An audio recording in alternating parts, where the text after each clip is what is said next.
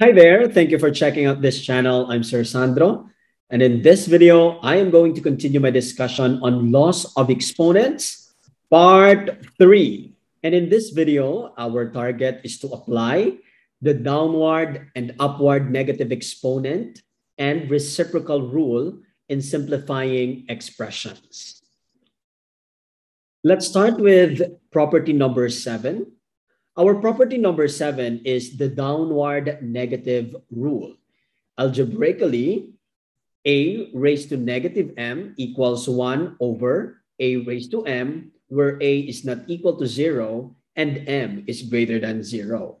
So it means negative exponents in the numerator get moved to the denominator and become positive exponents. So let's start with this example. If we have 3x raised to negative 4, using the property number 7, we can actually just copy the 3, copy the 3, and remember that we can separate uh, the monomial into 3 times x raised to negative 4, right? And we know that the denominator of x raised to negative 4 is equal to 1. Applying property number seven or the downward negative rule, we can simplify this algebraic expression into 3 over x raised to 4. And this is the final answer. Okay, 3 over x to the fourth. So basically, I just move the x raised to negative 4 to the denominator to make it positive. That's the downward negative rule. Next example, if we have negative times the quantity of 2x raised to negative 3. Now, um, I want you to be careful, class, because the base here is just 2x. Okay? The negative doesn't belong to the base. Therefore, we can rewrite this expression as negative, okay, negative 1 okay, times 2x raised to negative 3. All right? And we know that this one is just over 1. This one is just over 1. That's the default denominator. So in this case, we can just have the negative 1 here. Just copy that. And let's move this entire expression to the denominator. All right? So let's have times. And the numerator will become 1 over 2x raised to positive 3. Can you follow? Again, I just move this to the denominator. So that's why 2x raised to negative 3 moved to the denominator. It became 2x raised to 3 or the quantity of 2x raised to 3. Can you follow, class? So in this case, class, after, after making sure that there's no negative exponent, all you have to do is to apply the previous properties that we already discussed. So in this case, uh, remember the distributive in nature, the power of the product rule? Yeah, let's apply that. We know that this is equal to negative 1 times 1, negative 1, over 2, 2 raised to 3, and x will also be raised to 3 using the power of the product rule. 2 cube, x cube. All right? And that is equal to negative 1 over 2 times 2, 4 times 2, 8, x cube. And this is the final answer, right? Let's proceed to example number three. Example number three, negative 3x raised to negative 2 over x squared. We're just to use the downward negative exponent rule because hindi pwede yung negative na exponent. So, imove natin ito sa denominator natin. The negative 3 will remain. Negative 3 will remain over ang x raised to negative 2. Okay, let's just copy everything muna. negative 3 over x squared. And this one, pupunta, pupunta siya dito. So we have x squared. So instead of writing x raised to negative 2, it will become x squared. So imumultiply mo itong dalawa. Okay, imumultiply mo yan. We have negative 3 over x squared times x squared using the product rule when we are multiplying the same base, what are the things that we are doing when we are multiplying the, the same base? We copy the base and we add the exponent. So 2 plus 2, 4. So our final, final answer is negative 3 over x to the fourth. Right? So this is the application of our property number 7, the downward negative rule. Let's proceed to property number eight. Property number eight is the upward negative exponent rule. So they are kind of similar, but in this case, uh, for the upward negative exponent rule, the negative exponents, the negative exponents in the denominator, okay, get moved to the numerator and become positive exponent. So algebraically, if we have 1 over a raised to negative m, that is just equal to a to the m, where a is not equal to 0 and m is greater than 0. Okay? So in order to understand this better, let's solve this example number one. Ayan. So we have 2 cubed over 2 raised to negative 5. So in this case, you have a negative exponent. Okay? We have a negative exponent here. And using the upward negative exponent rule, we can just move that to the numerator. So that will become, okay, the 2 cubed will remain 2 cubed times 2 to the fifth power. So since from denominator, it moved to the, to the numerator, so it will become positive. So 2 to the fifth, and that is just equal to, now we are multiplying expressions with the same base.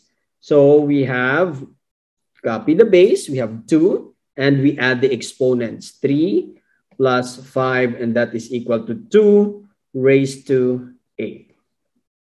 And that's our final answer. Let's proceed to example number 2. If we have 3 raised to negative 2 over 3 raised to negative 4. Okay, so in this case, class, we have to um, move the denominator to the numerator. So in this case, the 3 raised to negative 2 will remain. 3 raised to negative 2 times 3 raised to 4. Okay? Pupunta siya sa taas. All right. And in this case, we can also apply the we can apply the product rule. When we are multiplying the same base, we copy the base and add the exponent. So in this case, we have negative 2 plus 4. That is equal to 3. Negative 2 plus 4, that is 2. So 3 times 3 equals 9. All right? Do we have any question? Actually, there's another way. There's another way of uh, solving this problem. We can just actually uh, apply both, no, the negative and the the upward and the downward exponent rule. So we can just interchange interchange, no, interchange the two. So in this case, okay, if we have three raised to negative two over three raised to negative four, um, Let's just move the numerator to the denominator and the denominator to the numerator. So in this case, we have 3 to the 4th over 3 squared using the downward and the upward negative exponent rule. In this case, we have 3 times 3 times 3 times 3. We have 3 times 3. We can just cancel. And we have 3 times 3 equals 9. So see, uh, if you if you know the basics, no, the basic of uh, laws of exponents, it would be easier for you. Uh, I'm just giving you properties. I'm just giving you uh, some rules. No, but it's up to you to utilize them. Okay, it's up to you to strategize which one is easier for you to uh, uh, employ using or uh, with a given expression. Now we have number three, 6 raised to negative 2 over 3 raised to negative 3. So we can still use the same rule, the upward negative exponent rule. Uh, in this case, we have, we just need to copy the 6 raised to negative 2. And then this one will go upward or to the numerator. So we have 3 raised to negative, uh, positive 3 rather. So 6 raised to negative 2 times 3 raised to 3. Right? However, we can, since this is not, no, this is not, they are not having the same base, so we can just go directly or we can also apply the the downward negative exponent rule. So ito, uh, pupunt, uh, papupuntahin natin siya sa denominator as well. So in this case, we have uh, 3 cubed will remain over 6 squared. Is that okay? 6 squared.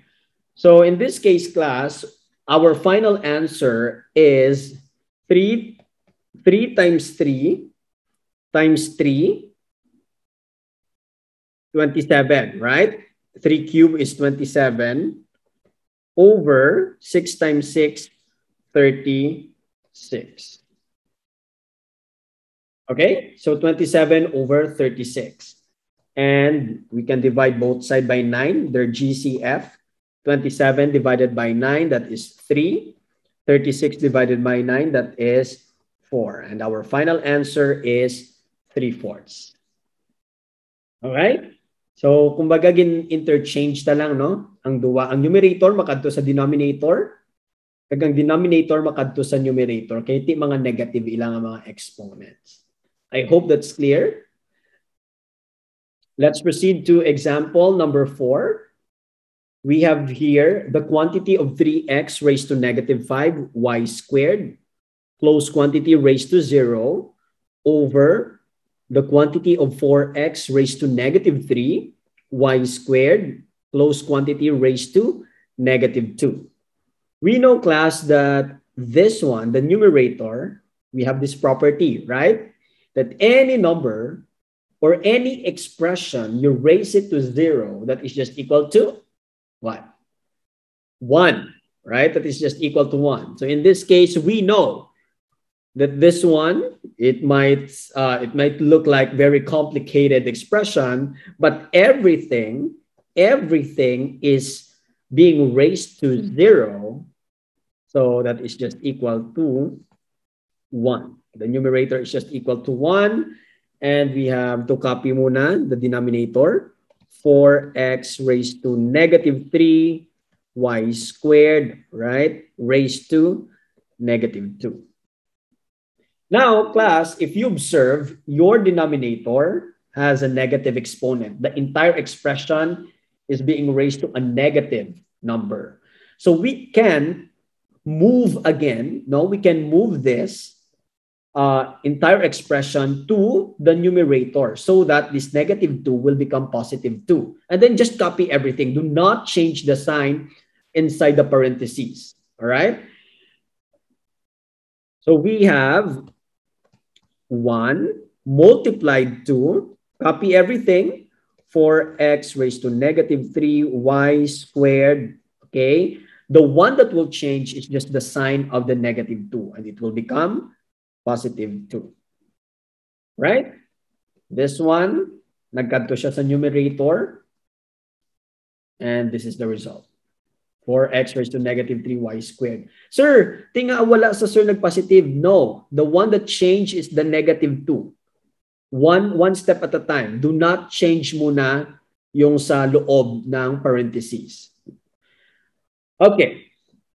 So in this case, we have 1 times the quantity of 4x raised to negative 3y squared. closed quantity squared. So we know that, it's that this is just equal to this expression, right? Because it's just one. Let's solve. We have, what property are we going to employ now? We have the power of the product rule, right? We have to uh, distribute this exponent, or no? We multiply the, the power here outside to all the exponents of the numerical coefficient and the variable. In this case, we have 4, that's being raised to 2, x raised to x raised to negative 3, that's the original 1. I'm going to multiply that to 2. I have y squared. Going to multiply that by 2.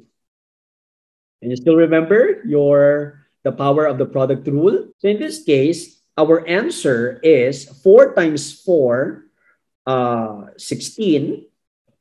x raised to negative 3 times 2, negative 6. y raised to 4. Now, are we done? Nope, not yet, not yet. Hindi pwede, no? We are not allowed to have this. Okay? We don't we are not allowed to have a negative exponent.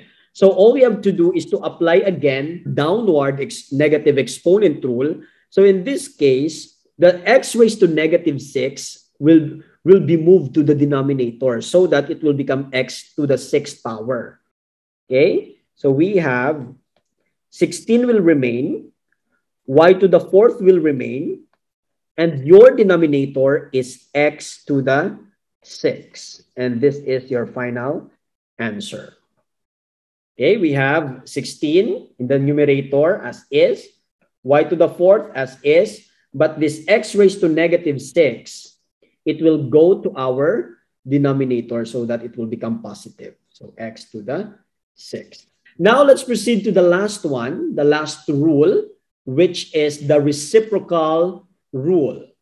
In this case, if we have, for example, the quantity of A over B and that is being raised to negative m, negative exponent, that is just equal to b over a raised to m, where a is not equal to zero. So in short, uh, negative exponents of a fraction become positive exponents by just interchanging the expressions of the numerator and the denominator. All right?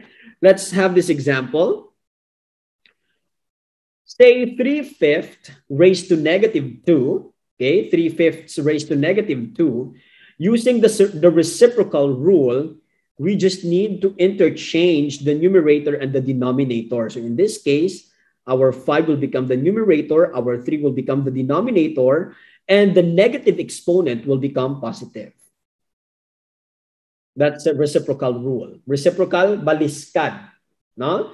We have 5 squared, the power of the quotient rule, over 3 squared. Distribute the 2 to the exponent of 5 and 3. We have 5 squared over 3 squared. And then just simplify.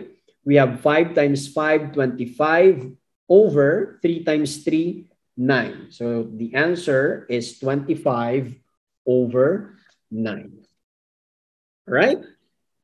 We have the second example, we have 2 to the 2 raised to negative 4 over 8 raised to negative 4. Remember, remember this one can be written as 2 over 8 raised to negative 4, right? Nagin-distribute niya na yan ang negative 4.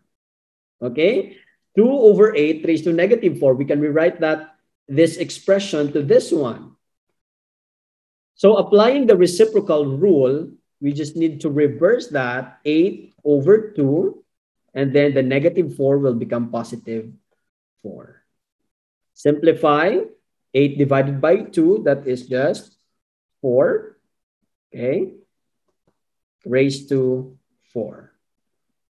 So technically, your answer is just equal to 4 times 4 times 4 times 4. It's like 16 times 16. That is equal to 256. Do you have any question for this one? Again, let's recap. No, let's recap our uh, last three uh, laws of exponents or properties. So we have the downward negative exponent rule, the upward negative exponent rule, and the reciprocal rule.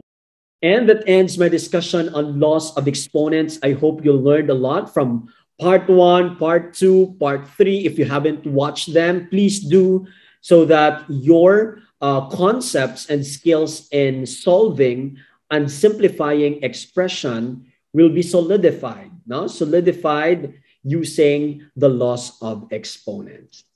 I'm going to see you in the next video. Bye-bye.